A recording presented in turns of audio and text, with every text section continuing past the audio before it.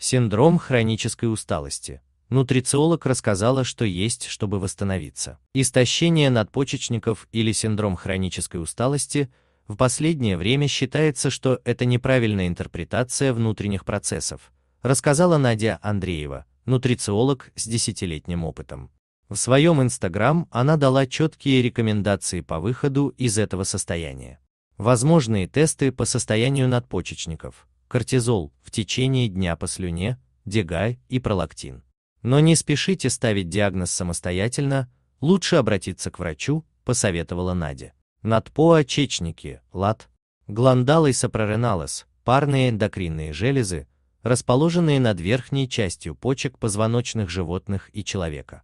У человека расположены в непосредственной близости к верхнему полюсу каждой почки играют важную роль в регуляции обмена веществ и в адаптации организма к неблагоприятным условиям. Реакция на стрессовые условия привела Надя объяснение для тех, кто плохо знаком с анатомией человека. Что будет полезно в любом случае. Практики для восстановления.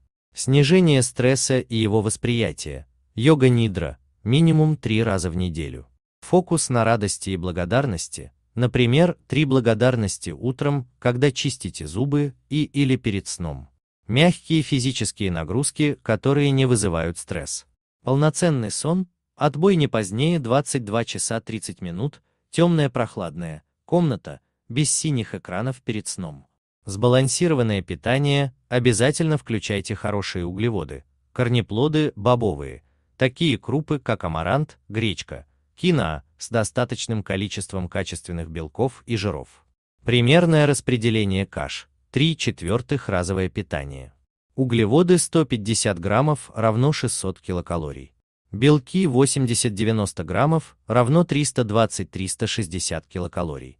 Жиры 80 граммов равно 720 килокалорий. Калории 1700-1800 килокалорий. Используем простые формулы расчет БЖУ. Белки 90 граммов. Углеводы 152 грамма. Жиры 80 граммов. Калории 1790 килокалорий. Например, завтрак – отварные яйца с овощами, пшеном и маслом каги, сверху водоросли. Обед – чечевица с диким рисом, овощами и салатом с кунжутными семечками и лимоном. Ужин – запеченные корнеплоды и кабачок с тыквенными семечками и рыбой, посыпьте зеленью, посоветовала нутрициолог. Напомним, нутрициолог рассказала, так ли полезен завтрак, как все привыкли думать.